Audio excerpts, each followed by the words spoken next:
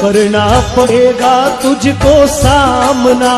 पहाड़ का हल्दी घाटी नहीं है, खेल कोई खिलवाड़ का। देना जवाब तुझको